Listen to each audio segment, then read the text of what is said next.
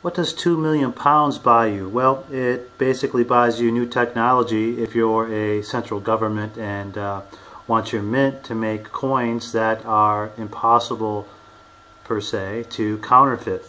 That's what's going on now in England, where they have the new one pound coin that will be coming out sometime between 2015 and 2017 that has special technology developed by the mint in South Wales that has this 12-sided new one pound coin to be virtually counterfeit proof. The new technology nicknamed ISIS, Integrated Security Identification Systems, has been in development for as much as 20 years.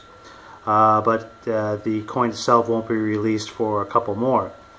The new coin is said to combat counterfeits, but actually, as I've been saying on this channel and in private for years, it has a lot more to do with the control of money. Even though most money is traded between banks, other financial institutes, and markets in the form of digital credits, and very little of it actually hits the street, they still want to have control not only of the creation of money, which most uh, central banks have had around the world for years, but also the control of the flow of money to the peasants.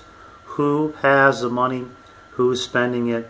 Who is not being taxed? This is uh, what uh, is going on now worldwide.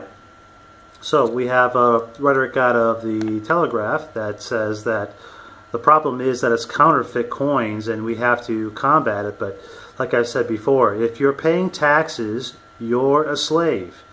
If you don't know you're a slave, then you're a slave. Uh, if you have a social security number, if you have an ID number, if you carry cash at all, then basically you're a slave in their eyes. Ever notice why the Prince of Wales doesn't carry cash and doesn't have an ID number? Because he's not a slave. He's part of the master and commanders of this whole system that is top down. So uh, whether it's RFID chips or not, it doesn't matter.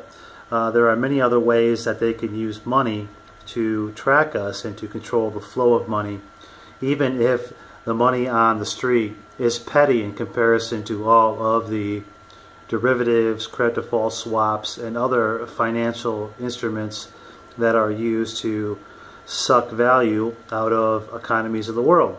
So, um, look forward to 12-sided coins and RFID chipped money, and then eventually, of course, no paper money or coins at all. And then that's when you know that they've really got you because you're on a, a digital credit system, and the next step, of course, is to be chipped. Uh, call me crazy, laugh at me, but um, the, the proof is there. They spent two million pounds developing a 12-sided coin that they say combats counterfeits when only 2 to 3 percent of all coins in the small market of uh, the British Isles are counterfeited. Now you think about it, around the world, right? Dollar is king. That's the world reserve currency. They should be concerned, of course, about counterfeits of the U.S. dollar, but when we're, we're talking about the pound sterling and uh, taking these steps to make sure that the one pound coin isn't counterfeited, you know that it's not about counterfeiting. So watch yourselves.